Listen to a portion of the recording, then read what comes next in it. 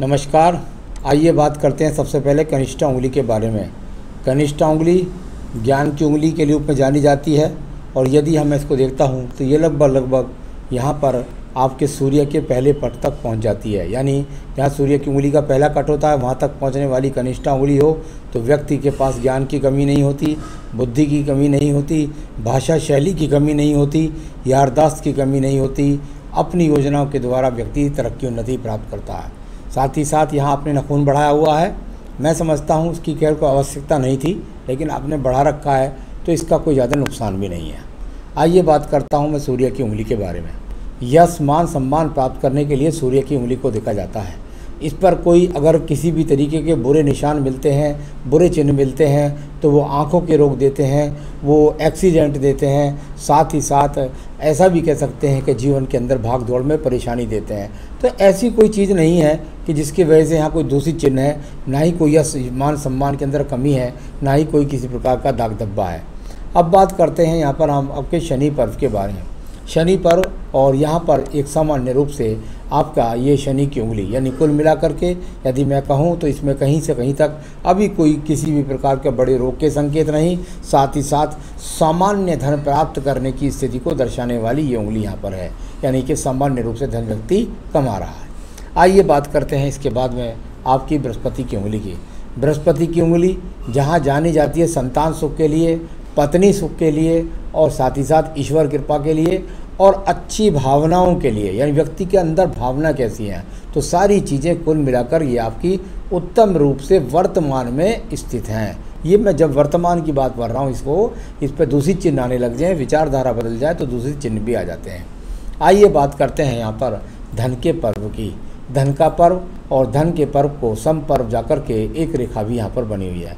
यानी इस प्रकार की रेखा जब व्यक्ति के पास में होती है तो ये धन का जो स्तर है यानी कि आप जिस भी स्थिति में जहाँ भी जिस जॉब पर हैं वहाँ से धन की संतुष्टि पूरी तरीके से नहीं कर पा रहे हैं। यानी कुल मिलाकर जो भी जॉब में कर रहे हुए हैं उसमें धन की प्राप्ति हो रही है। लेकिन जितना धन आपको चाहिए उतना नहीं। यानी कि कुल मिलाकर के आपको वो धन पूरक ही पड़ता आपकी जिम्मेदारियों पर कम पड़ता है। अब बात करते हैं या आ, आपकी उम्मीदों पर कम पड़ता है। यहाँ पर संतान का सुख सहयोग भी है।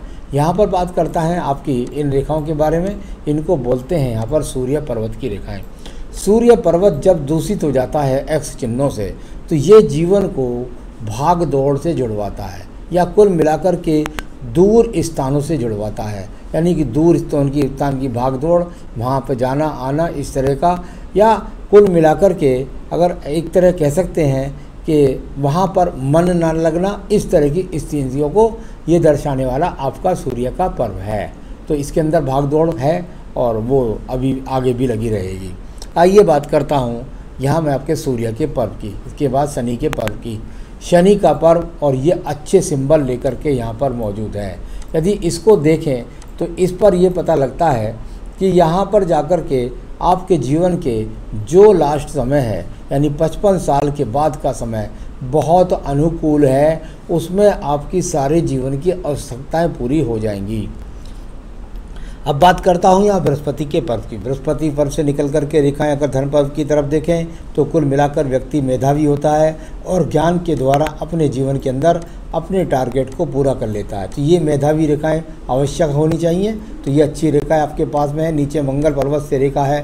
कुल मिलाकर पैतृक संपत्ति को दिखलाने वाले ये योग भी यहाँ पर मौजूद हैं।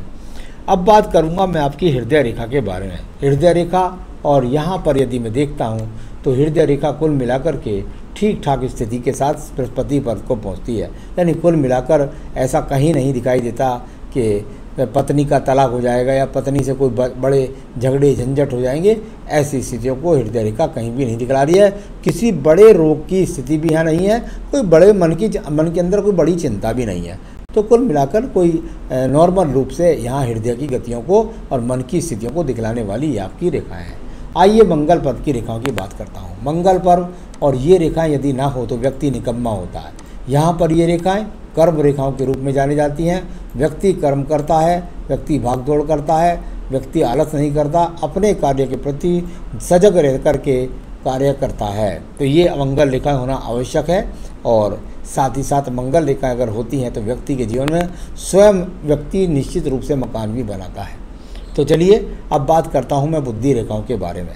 बुद्धि रेखा आप देखिए, आपकी बुद्धि रेखा को आप स्वयं देखेंगे तो कितनी लहरदार बुद्धि रेखा यानी कि मन के अंदर, बुद्धि के अंदर।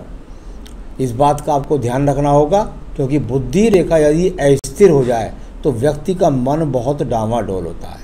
यानी कि कुल मिलाकर के कितनी बार ऐसी निराशाएँ उसके मन के अंदर भर जाती हैं जिसको वो सोचता भी नहीं है। तो यानी कहीं ना कहीं सोचने लग जाए, कुछ का कुछ सोचने लग जाए, बहुत ज़्यादा नीचा सोचने लग जाए, बहुत ज़्यादा ऊँचा सोचने लग जाए, यानी दिमाग के अंदर हलचल चलती रहती है बुद्धि रेखा में हलचल चलती रहती है, इस प्रकार को दिखलाने वाली ये बुद्धि रेखा और ये कई बार गलत डिसीज़न दिला देती है, इसलिए आपको सजग रहना होगा। आइए बात करते हैं मंगल द्वितीय पर्वत की। कोई झगड़ा नहीं है, कोई झंझट नहीं है, कोई मुकदमा नहीं है, इस प्रकार को दिखलाने वाली रेखाएँ। जब चंद्र पर्वत पर ऐसी छिटकने वाली रेखाएँ हों तो व्यक्ति के जीवन के अंदर बहुत सारी यात्राएँ छोटी छोटी यात्राएँ भाग दौड़ इस तरह की स्थिति को दर्शाने वाली ये यहाँ पर रेखा है यानी अपने कर्म क्षेत्र में कई बार आपके जीवन में स्थान परिवर्तन का सामना भाग दौड़ का सामना और वर्तमान में भी भाग दौड़ का सामना आपको करना पड़ता है। अब बात करते हैं, ये शुक्र पर्वत से निकल करके एक रेखा मंगल पर्वत को देखे तो व्यक्ति अपने जीवन के संसाधन जो है, वो व्यापार के द्वारा नहीं, इसलिए व्यापार में कभी ना आजमाएँ और मस्तिष्क की योजनाओं से आप, दिमाग से योजनाओं से आप नौकरी को ही अपने रूप में मजबूती के साथ स्थापित रखें। आइए रख, बात करता हूँ इसके बाद में एक और रेखा के बारे में। देखिए, आपके ये बुद्धि रेखा पर एक बहुत बड़ा दीप बन के चला गया इधर की तरफ़। ये दीप बहुत खतरनाक स्थिति का जाना जाता है। बुद्धि रेखा पर जब दीप बन जाए तो ये वो स्थिति होती है। एक तो रेखा डामाडोल ऊपर से ये दीप बन जाए। तो कहीं आप ऐसा निराशात्मक डिसीज़न ना ले लें कि पता लगा आपने जॉब ही छोड़ दी। बहुत गलत डिसीज़न हो जाएगा, ऐसा निर्णय ले सकते हैं। साथ ही साथ मानसिक डिप्रेशन के लिए अचानक क्रोध आ जाने के लिए ये अवसाद के लिए ऐसे दीपों को माना जाता है। तो इन चीज़ों से आपको बचना है। इसके लिए मैं एक उपाय बता दूँगा। वो कर लीजिएगा। तो यह इस बात का आपको थोड़ा सा ध्यान रखना होगा। चलिए, अब मैं बात करूँगा इसके बाद में आपकी सीधा सीधा भाग्य रेखा के बारे में। भाग्य रेखा दूर स्थान से निकल कर चली और यहाँ पर बन गया शुरू में एक्स यानी कुल मिलाकर जहाँ है, वहाँ पीला नौकरी तो करें, लेकिन पीला की स्थिति को दर्शाने वाली और आगे जाकर के ये आपके थर्टी एट से आगे जा कर के लगभग लगभग यहाँ एक रेखा काट रही है। इसका एक सवाल भी मैं साथ के साथ दे देता हूँ आपको। आपने कहा, मेरा ट्रांसफ़र कब तक?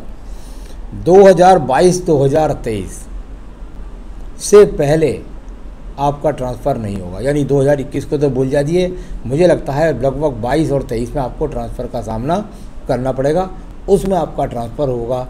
यहाँ दिखने वाली स्थिति ये बताती है। तो चलिए ये आपकी एक सवाल का जवाब भी मैंने साथ के साथ दे दिया है। अब बात भाग्य रेखा की, वो अनुकूलता से चल रही है और आगे चलती रहेगी। अब बात करते हैं इसके बाद में सीधा सीधा यहाँ पर आपकी मंगल रेखा के बारे में। ये सपोर्टिंग रेखा केवल आपको मिली थी पहले, अड़तीस वर्ष तक ही आपके, बस इसके बाद ये मंगल रेखा नहीं है, यानी कि ईश्वरीय कृपा आप पर अब नहीं है, अपनी योजनाओं से आपको चलना होगा। आयु रेखा की बात करता हूँ, बहुत ही शानदार मणिबंध तक अंदर तक कसने वाली रेखा, यानी कुल मिलाकर के ये वो रेखा होती है, जिसको कहते हैं आयु रेखा, और आयु रेखा लगभग 80 वर्ष तक है। तो आयु रेखा भी बहुत अच्छी तरीके से है। संतान रेखा आपके हाथ से हालाँकि दो चमक रही हैं, बल्कि ये पता लगता है ज़्यादा पत्नी के हाथ से तो ये संतान रेखाओं के बारे में है। सारे पर्व, सब उंगलियाँ, सारी चीज़ें मैंने पढ़ी, और उसके बाद में आपके एक सब दो सवाल थे, एक ये सवाल, दूसरा और सवाल बताता हूँ। मेरे हिसाब से मकान कब बनेगा? सर, मेरे हिसाब से मुझे नहीं लगता। मैं बहुत ज़्यादा निराश नहीं करना चाहता, लेकिन मुझे नहीं लगता कि अगले पाँच सात साल में आपका मकान बन पाएगा। अभी यहाँ पर किसी भी प्रकार का कोई भी चिन्ह नहीं है। यानी अभी यहाँ पर ऐसा कोई भी चिन्ह नहीं नज़र आ रहा, जिससे मैं कह सकूँ कि आपका मकान अगले पाँच साल तक तो मुझे कम से कम मैं कह सकता हूँ, नहीं नज़र आ रहा। तो यहाँ बनेगा मकान ज़रूर, क्योंकि मैंने बृहस्पति पर को देखा था।